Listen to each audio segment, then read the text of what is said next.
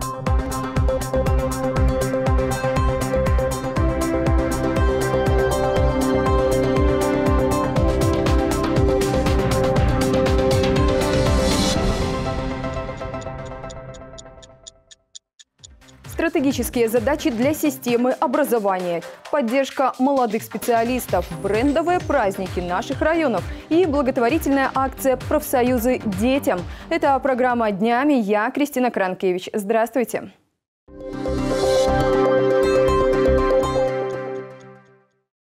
Качественное образование – сильное государство. Под таким девизом прошел Республиканский педагогический совет с участием президента Беларуси Александра Лукашенко. Глава государства озвучил основные требования к системе образования и назвал главные стратегические задачи на ближайшее время. Президент убежден, что без престижа, без подъема авторитета учителя невозможно говорить об эффективности образования. Большое внимание по-прежнему будет уделяться укреплению материально-технической базы учреждения образования образования всех уровней. А воспитательная составляющая будет только усиливаться. Социологические опросы, которые провела Национальная академия наук, показывают, что более 73% респондентов положительно оценивают работу школы, и администрация президента Беларуси фиксирует значительное снижение обращений граждан по вопросам образования. Мы реформировали образование много лет подряд. Потеряли уже счет реформ, запутали людей – Существенных изменений, как я уже и обещал, в системе образования больше не будет. Мы не можем каждый год окунать педагогическую общественность, власть самих себя в реформирование, реформирование, переналадку, слом и строительство нового в системе образования. Не будем делать, потому что уже немало сделано. Надо остановиться, поработать, сделать соответствующие выводы на том, что мы с вами создали. Там, где нужна будет дошлифовка, мы это сделаем. Дошлифовка всегда нужна будет. Все узкие места мы видим. Прежде чем прийти на педсовет, я изучил огромные массивы информации, начиная от обращений граждан, данных социологических исследований, заканчивая аналитическими материалами контролирующих органов. Как подчеркнул Александр Лукашенко, государство вкладывало и продолжит вкладывать средства в сферу образования. Сфера образования – это государствообразующая отрасль. Да, она требует серьезных вложений, и мы вкладываем, и будем вкладывать в нее средства. Если сегодня не будет образованной, воспитанной в своей стране молодежи, завтра не будет и страны. За последние три года мы направили на развитие системы образования почти 30 миллиардов рублей. Построены и капитально отремонтированы 73 учреждения образования, еще 9 возведут до конца года. Как мне докладывают, охват дошкольным образованием у нас практически стопроцентный. Там, где нет школы или детского сада, организован подвоз.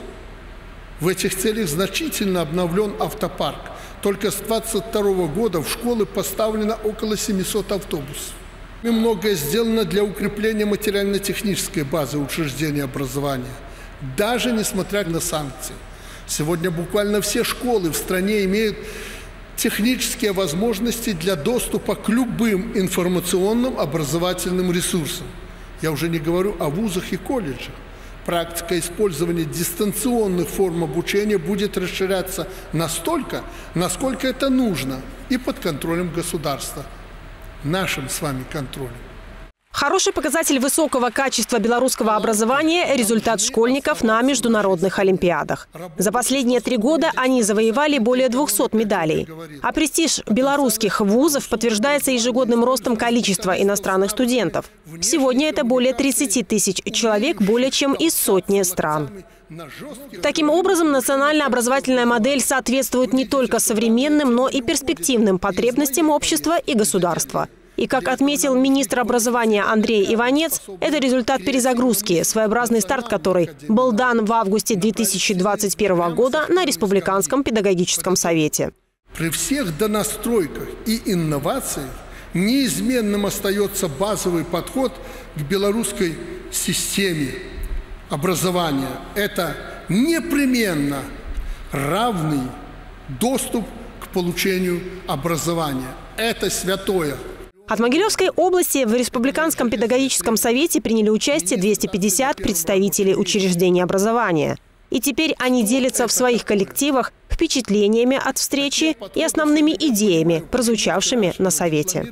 Приятно отметить то, что статус нашего педагога будет и в дальнейшем повышаться будет строиться жилье для наших педагогов, что очень важно если мы хотим закрепить молодых специалистов. Э, конечно же, приятно отметить, что будет повышаться заработная плата. Так как мы профсоюз, мы всегда смотрим, чтобы повышалось благосостояние нашего члена профсоюза. Э, хочется сказать о том, что большое внимание будет уделяться и воспитанию потому что мы должны воспитывать патриота своей страны. Он очень четко обозначил для нас такие главные ориентиры вот для вуза, да, по, какие, по которым нужно работать. Это работа с заказчиками кадров, это работа с одаренными детьми, это в целом роль регионального вуза в системе образования. Это не какие-то абстрактные направления, которые бы мы не знали, но это все то, над чем мы работаем и что мы, конечно же, будем продолжать усиливать делать. Очень вдохновили его речи про поднятие зарплат, во-первых, потому что нам, как молодым специалистам, нужно думать о будущем, нужно думать о семье, о создании какого-то своего очага. И то, что зарплата будет э, в скором времени приравнена к общей государственный очень впечатляет и очень мотивирует развиваться и не останавливаться, и не бросать эту профессию, что очень важно. Мне, как работнику системы образования, готовящего кадры с точки зрения профессиональных кадров для предприятий, очень было важно, что там был обсужден вопрос развития системы образования и то, что президент и министр образования в очередной раз подчеркнули, что данное направление очень важно для страны, что данное направление должно развиваться, и это очень серьезный посыл. Да? Были определены направления направление, в котором это и создание, продолжение создания ресурсных центров, это создание новых специальностей. Это очень важно, и я думаю, что помимо системы образования, в том числе и заказчики кадров тоже, соответственно, данную позицию воспринимают очень э, положительно. Направления такие заданы, что мы должны совместно проводить раннюю профориентационную работу э, для того, чтобы привлекать ребят еще там, начиная с 10 класса, с 11, чтобы они понимали, что нужно двигаться вот именно в эту сторону. А, а также, что очень приятно для нас, как для технического вуза, э, было поднято, в общем-то, такой вопрос был поднят, как престиж инженерных специальностей. Когда выступает глава государства, э, заряжаешься такой энергией, э, таким патриотизмом, духом хочется работать, творить. Э, конечно, вынес то, что еще раз было подчеркнуто, что учитель, педагог – это то, что является всех начало начал. Поэтому главой, было, главой государства было отмечено, что все начинается с учителя. Э, будет учить учитель, будет и врач, будет и инженер, все будет.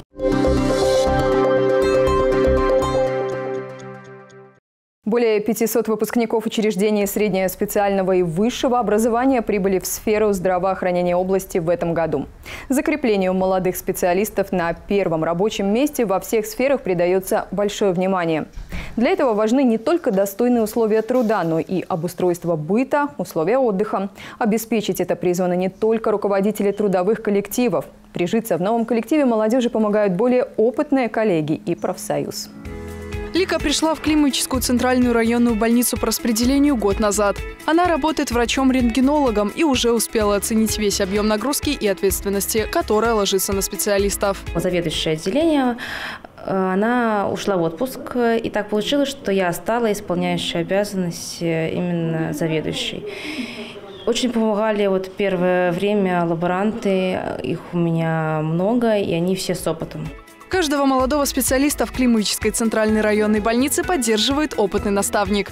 Это помогает привыкнуть к новым условиям и наладить отношения с командой. Конечно, большие помощники для врачей – это медсестры с большим опытом. Мы стараемся, чтобы, когда приходит врач, например, работать на участок, чтобы медицинская сестра у него не была вчерашняя выпускница, которая не знает объема работы. А так, конечно, большое подспорье для врача, что у него постоянно с ним на приеме человек, который работу знает. Это тоже важно. В 2024 году в организации Климовического района пришло 94 молодых специалиста со среднеспециальным и высшим образованием. На встрече с помощником президента, инспектором по Могилевской области Леонидом Мартынюком работники учреждения здравоохранения обсуждали важные темы. Например, отметили, что место в общежитии или арендное жилье климатический райисполком выделяет всем молодым специалистам, которые в этом нуждаются. Постоянно идет мониторинг именно не то, что э, попадание на первое рабочее место и создание условий именно там, а молодого специалиста нужно вести с э, скамьи, когда он вышел и получил диплом, да, э, и до определенного возраста, покуда он действительно не окреп, не стал на ноги и не стал хорошим и классным специалистом. В Могилевскую областную детскую больницу в этом году пришло 43 новых работника. Половина из них интерны, 10 медсестер и 11 врачей. Кристина Дрозд, детский акушер-гинеколог, говорит, что с первого дня почувствовала себя здесь, как в команде, и сразу волнение пропало начиная от главного врача, заканчивая различными подразделениями там, административными, как отдел кадров, заканчивая там, э, правкомом, э, заведующим поликлиники, младшим медицинским персоналом, все просто оказывают э, помощь где-то в знакомстве с больницей, в знакомстве с коллективом, какие-то ну, такие правовые медицинские аспекты. Было очень приятно, когда мы пришли и Э, предложила больница свою помощь в качестве жилья. Детский хирург Анна Александрова проходила в больнице интернатуру. Для нее было приятным сюрпризом, что за ней сохранили место в ведомственном общежитии. Жилье мне предоставлено больницей. Это общежитие Могилевской областной больницы, где у меня есть комната своя. Я там жила и в прошлом году, и в этом году эта комната за мной осталась. В отделении тоже все хорошо, за нами все присматривают, следят, помогают по возможности, обучают, направляют. Профсоюзный комитет детской больницы поддерживает молодых специалистов, чтобы их адаптация на новом рабочем месте прошла быстро и успешно. Вообще э, работа с молодежью – это одно из приоритетных направлений деятельности профсоюзов. Мы очень заинтересованы, чтобы наши молодые специалисты, которые пришли в коллектив на свое первое рабочее место, не разочаровались в профессии. У нас все молодые специалисты э, находятся на особом контроле, потому что работа с молодыми специалистами в профсоюзах дается приоритетное, приоритетное направление, чтобы они остались, закрепились, получили необходимый опыт, стажировку. Отдельным нашим постановлением по профсоюзу за каждым из молодых специалистов закрепляется опытный наставник. Кроме того, каждому молодому специалисту выдают брошюру, разработанную ведомственным профсоюзом. В ней методические рекомендации и документы по законодательной базе, а также номера телефонов областных республиканских профсоюзных структур, чтобы знать, куда обратиться с проблемой или за советом.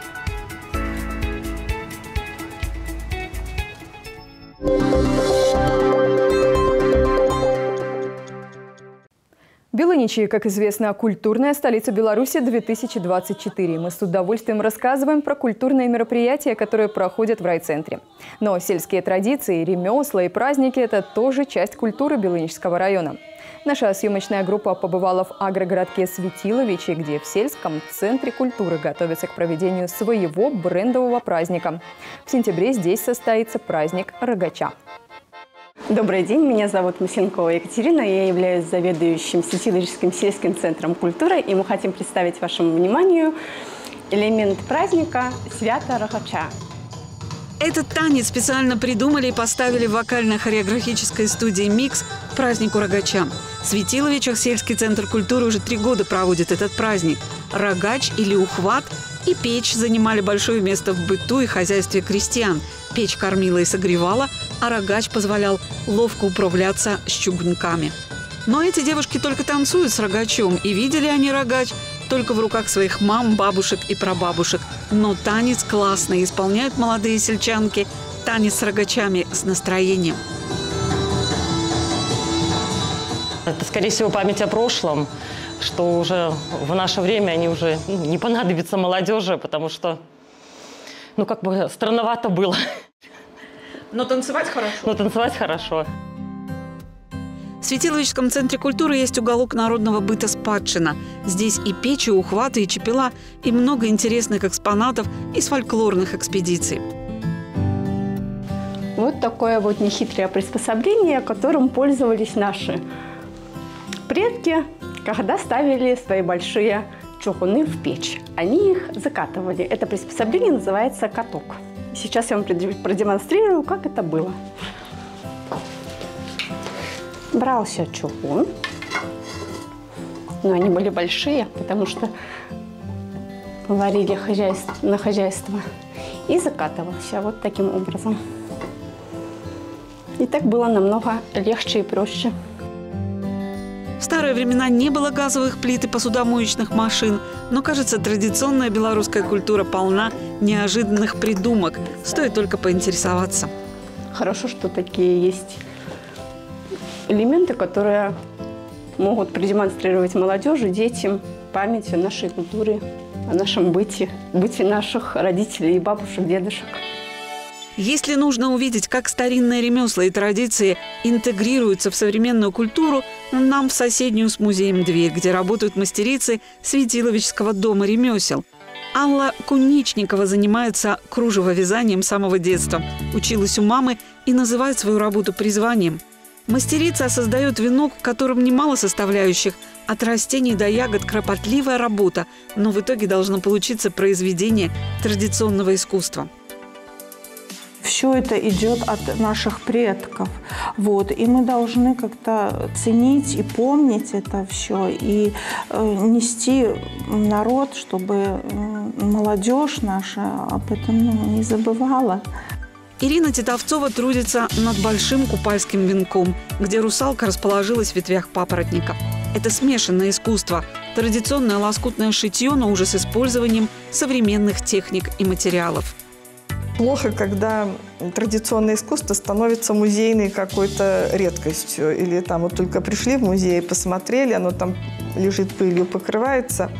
Наши предки, вот и вышитые рушники эти, ну все, что вот вы тут ну, у нас видите, собственно говоря, это все были вещи утилитарными. Утилитарные вещи, которые использовали в быту. Полотенцами утирались, использовали их в обрядах. Там э, лоскутным одеялом укрывались. Наши предки пользовались быту рушниками, посудой и всеми этими выставочными вещами, но чтобы сохранить традиционные ремесла, они должны быть нужны людям повседневной жизни. Должно придаваться какое-то современное звучание вот этим всем э, народным традиционным вещам. И так, чтобы оно действительно шло в народ, чтобы это можно было использовать в нашей современной жизни. Как же можно популяризировать традиционную культуру? Например, как Дарья Гнуленко вышить на рукавах своего платья старинный символ жизни или соткать самой пояс и носить его. Дарья с детства интересовалась старинными ремеслами, а когда в университете ей показали, как плести пояса, говорит, не могла оторваться. На открытии были культурной столицы. К нам подходили, спрашивали, а, а что это, а как это делается? Естественно, это хочется передать, хочется показать, рассказать. Это вот только за радость. Когда приходит, ты сразу такой вскакиваешь и начинаешь, начинаешь, начинаешь рассказывать. А вот это вот мы так сделаем, а вот это к нам приезжайте, показывать. Для нас это просто радость. Культурная столица – это гордость, престиж и высокий статус, и он поможет мастерицам из Белыничей показать свое искусство многим людям, пригласить на брендовые праздники агрогородков гостей со всего региона. Это сегодня возможность презентовать наши самобытные, опять же, региональные какие-то особенности. Ну и, конечно, нам очень приятно, что сегодня статус культурной столицы позволяет привлечь внимание широкое внимание общественности и иностранных туристов, надеемся. Мы готовы этим встречам. Добро пожаловать к нам в культурную столицу. Республиканская акция «Культурная столица Беларуси» в Белыничах продолжается.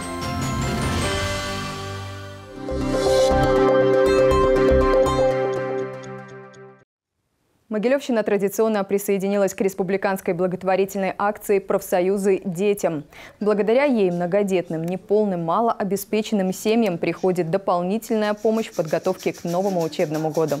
Первичные профсоюзные организации, отраслевые профсоюзы, а также наниматели завершают выплаты материальной помощи родителям школьников. На эти цели уже направлено более 1 миллиона 660 тысяч рублей. Материальная помощь выплачена почти 9 тысячам членов профсоюза. И, как отметили в Могилевском областном объединении профсоюзов, это цифры не окончательные. Ряд организаций предприятий, их первичные профсоюзные организации продолжают выплаты. Накануне нового учебного года участники акции «Профсоюзы детям» приехали в гости к ребятишкам больным онкологией с подарками. Нужные для отделения вещи, сладкие подарки, игрушки. Чтобы поддержать маленьких пациентов, благотворители приезжают несколько раз в год. Ведь для этих детей и их родителей важна любая возможность ощущения праздника. Важны моменты радости, которые дарят им сил на борьбу дальнейшую переживать, переносить все эти вот испытания, все эти болезни, такой непростой путь проходить. Я всем детям желаю счастья, здоровья, чтобы тут не бывали больше, чтобы все быстрее выздоравливали. Маленькой помощи не бывает, уверена Олеся Кранкевич. В свое время она узнала про идею коробки храбрости. Такая есть в отделении онкологии и гематологии областной детской больницы. Добрые люди наполняют коробку игрушками канцелярскими принадлежностями, вкусняшками, а маленькие пациенты после болезненных процедур могут выбрать себе награду за храбрость. Я очень благодарна, что большое количество наших организаций, не только госорганов, но и предприятий города, благодаря соцсетям, благодаря нашему общению присоединились к нам. И сегодня эта маленькая инициатива, которая начиналась одним трудовым коллективом, уже переросла в нечто большее. Очень много людей помогает, э, оказывает эту помощь детскому онкологическому отделению. И, безусловно, маленькая маленькой помощи не бывает. Э, мы будем рады, если все неравнодушные присоединятся к нам. Некоторые дети вынуждены находиться в этом отделении до 8 месяцев, поэтому так важно, чтобы у этих ребятишек тоже было ощущение праздника. Подарки поднимают настроение, что в свою очередь помогает выздоровлению. Мы привезли подарки. В первую очередь мы привезли рюкзаки тем деткам-первоклассникам, которые, к сожалению, сегодня не смогли попасть на школьную линейку. В рюкзаках, конечно же, есть все необходимое для того, чтобы поучиться можно было, и для того, чтобы можно было и поиграть. Конечно же, мы хотим, чтобы деткам было комфортно э, в стенах больницы. Мы привезли электрические сушилки для рук, мы привезли коврики специально антисептические. Это то, что надо сейчас отделению. Частью акции «Профсоюзы детям» стало и мероприятие первичной профсоюзной организации предприятия «Могилев Лифтмаш». Промышленный гигант пригласил в гости первоклашек. В этом году на заводе 160 семей, в которых дети идут первый раз в первый класс. Экскурсия по флагману лифтового машиностроения начинается с открытой площадки. И всех впечатляют ее масштабы. Здесь открытая и закрытая роторные парковки и самая известная в городе промышленная башня, где тестируют лифты. И вот каски как элемент безопасности и в цех. Могилев Лифтмаш, ведущий производитель лифтового оборудования в Восточной Европе, производит около 180 моделей лифтов. Все интересно. Огромное помещение, техника, сборка лифтов. Малыши смотрят во все глаза. В этом и была идея – рассказать и показать детям, какую важную работу делают на предприятии их родители. Ребенок постоянно спрашивал, узнавал, как папа, папа, где ты работаешь? Изготавливаю лифты изготавливаю лифты. А как же он изготавливается? Вот сегодня нам дана такая очень интересная экскурсия. Мы очень довольны, ребенку понравилось. И он посмотрел, насладился, увидел вот само сердце предприятия, как все-таки зарождается лифт. Как тебе завод?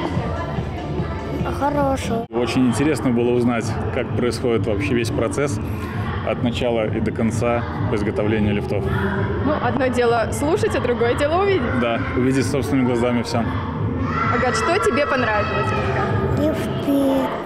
Выставочный центр – еще одна точка экскурсионного маршрута с обязательным эффектным фото у кабин лифтов. Подготовили для первоклашек и развлекательное шоу. На этом и строится вся традиция Могилев Лифтмаш, его сила и тех успехов, которые он достигает, это благодаря тому, что здесь очень много семей, ну, традиций, династий.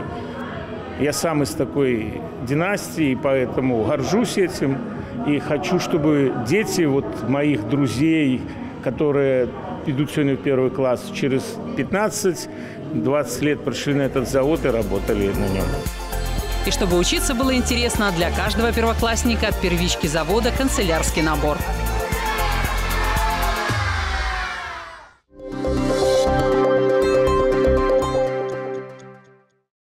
На Могилевщине виноградный год. Виноградари из разных районов области презентуют свой весомый урожай. У нас нет, конечно, промышленных виноградных плантаций, но большие любители винограда на своих частных сотках выращивают обычно по несколько десятков сортов. Оказывается, виноград в наших широтах вырастает и красивым, и вкусным. И, к счастью, не только виноград. Ну, кто-то ловит рыбу, кто-то играет в футбол. Ну, вот тут зацепило и зацепило. После переезда из города в деревню Тишовка Могилевского района Александр Арбузов, вопреки своей фамилии, занялся виноградом. Сначала посадил три кустика вместо забора, а теперь дело дошло до небольшого виноградника, где три десятка сортов. Самый любимый – Аркадия. Вот такая, килограмма полтора. Ну, если побольше, по два с половиной будет.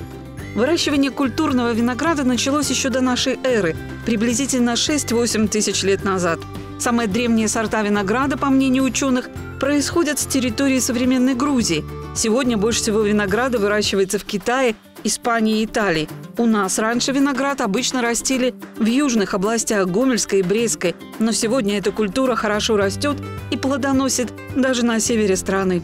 С погодой хорошо в этом году. Так, весна, конечно, тяжеловатая была, но все получилось, скажем так. Как же это случилось? Работа селекционеров, изменение климата и, конечно, опыт самих белорусских виноградарей. Главное хотеть, главное понимать, для чего это надо. Ну, а все остальное придет. А вам для чего? А мне для души.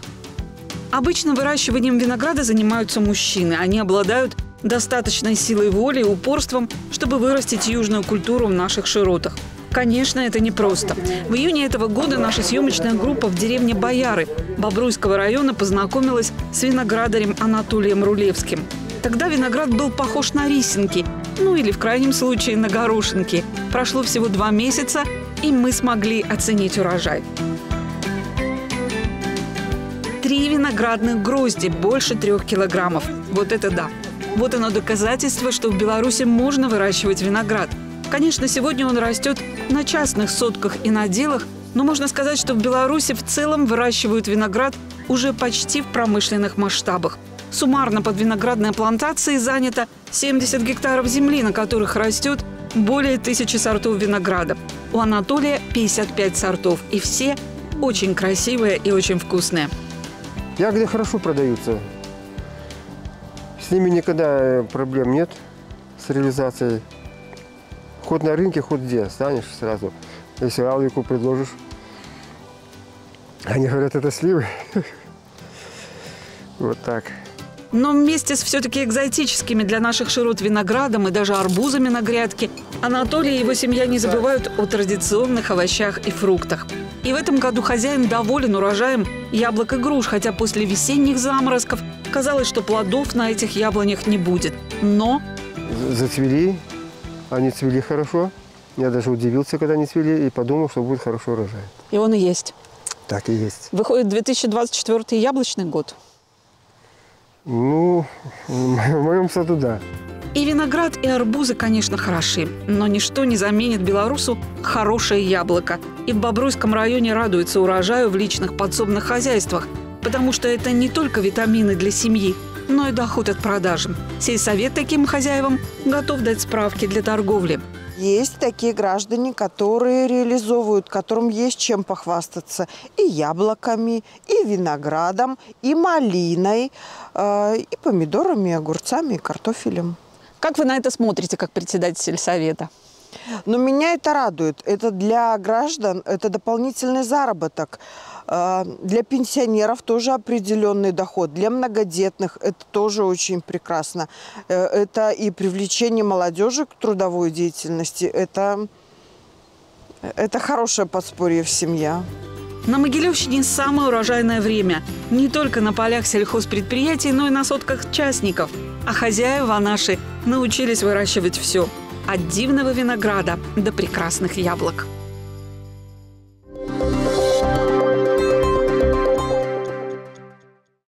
И на напоследок о театре. Этими днями стартует новый театральный сезон. В Могилевском театре «Кукол» он откроется 1 сентября. В программе открытия полюбившиеся спектакли «Гуси у бабуси» и «Волшебная кисть». Организаторы обещают и для детишек, и для взрослых увлекательное путешествие в мир театра «Кукол» при каждом его посещении.